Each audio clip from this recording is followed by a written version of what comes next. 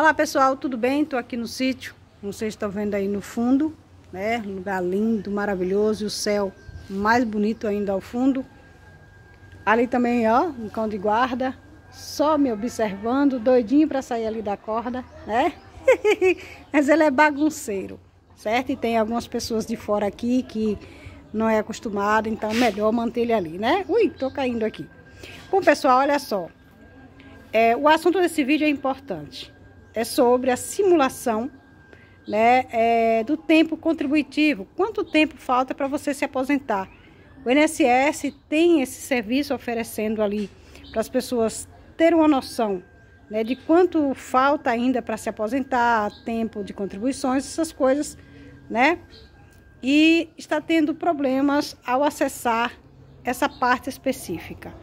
Bom, a DataPrev, ela comunica que está fazendo aí manutenção, certo, no site, aí algumas funções do meu INSS e uma dessas funções é a parte da simulação de aposentadoria, certo? Está em manutenção, não fala de um tempo específico para isso, certo?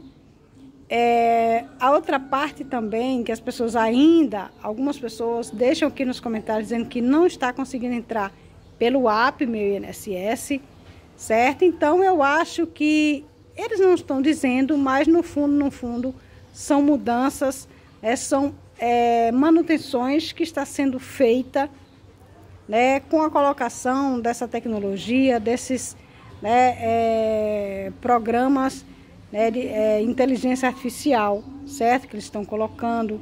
Então tem muita coisa acontecendo de forma interna que não chega ao conhecimento do público, certo? Nem tudo que eles fazem lá, eles vão dizer, olha, estamos fazendo isso, olha, estamos fazendo aquilo. Muitas das vezes a gente só vai ter ciência quando aquele programa, aquele serviço surge, já prontinho ali na tela, não é verdade? Mas aquilo, para estar ali, teve ali uma manutenção, uma instalação de, de um programa específico, certo? Então, olha só, referente a, a, aos cálculos, né, para a pessoa ter uma noção, porque também ele não é tão certo, mas você passa a ter uma noção quanto tempo falta para você se aposentar e outras informações específicas. Essa parte, segundo o INSS, está em manutenção certo? Então vamos aguardar aí mais uns dias, tanto nessa parte de simulação de aposentadoria, quanto no app meio INSS que ainda está tendo problema no sistema, certo?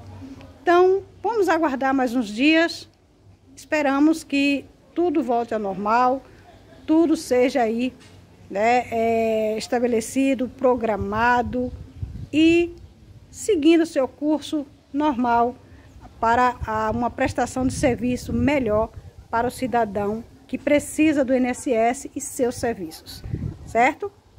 Quero agradecer o carinho a presença de vocês que chegaram aqui esse conteúdo. Muito obrigada, um ótimo final de semana e até mais.